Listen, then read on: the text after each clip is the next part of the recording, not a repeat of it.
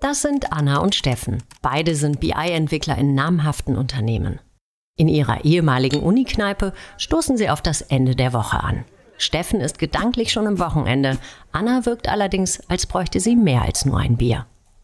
Gestern musste es schnell gehen. Nur einen Tag vor dem Management-Meeting musste sie herausfinden, warum eine Kennzahl im Dashboard falsch angezeigt wurde. Das Datenmodell dazu ist extrem komplex und die SAP-Standardmittel bieten wenig Unterstützung.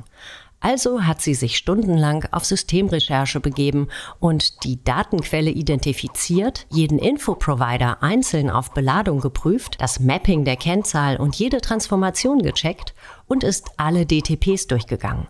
Der Fehler lag letzten Endes bei der Einschränkung eines DTP-Filters. Nachdem sie gestern um Mitternacht das Gebäude verließ, hat sie heute mal wieder ihre Mittagspause geskippt, um sich ganz den Auswirkungen der Änderung zu widmen. Denn der Fehler kann ja auch in anderen Dashboards zu falschen Zahlen führen. Oder die Änderung beeinflusst noch weitere Objekte. Mit Augenringen und leicht zu spät hat sie es schließlich in die Kneipe geschafft. Steffen staunt. Er hatte diese Woche zufällig ein sehr ähnliches Problem. Genug geschlafen und gegessen hat er aber trotzdem. Steffens Firma setzt nämlich den System Scout ein.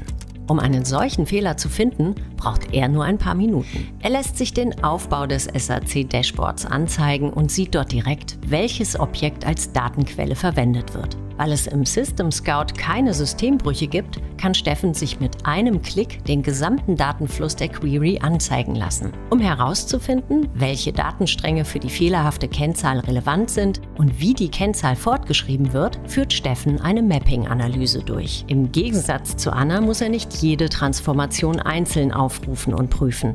Stattdessen klickt er auf die betroffene Kennzahl und bekommt sofort das komplette Mapping über alle Ebenen angezeigt von der Query bis runter zur Data Source.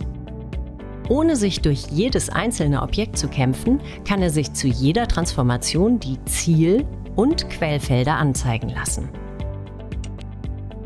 Wenn das Mapping überall stimmt, prüft Steffen als nächstes die DTPs. Während Anna alle DTPs einzeln aufrufen muss, kann er sich mit nur einem Klick alle Einstellungen und Filter übersichtlich anzeigen lassen.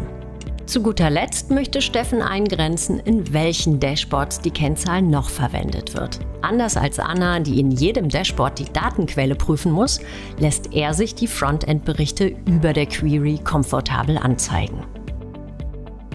Steffen hat in wenigen Minuten geschafft, wofür Anna mehrere Stunden gebraucht hat. Als Steffen Anna dann noch erzählt, dass der System Scout auch systemübergreifende Verwendungsnachweise Codescans in ABAP und AMDPs, Objekt- und Systemvergleiche, Prozesskettenmonitoring und Housekeeping vereinfacht, ist Anna restlos vom System Scout überzeugt.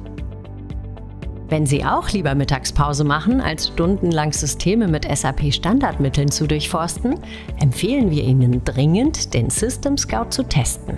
Das ist sogar kostenlos.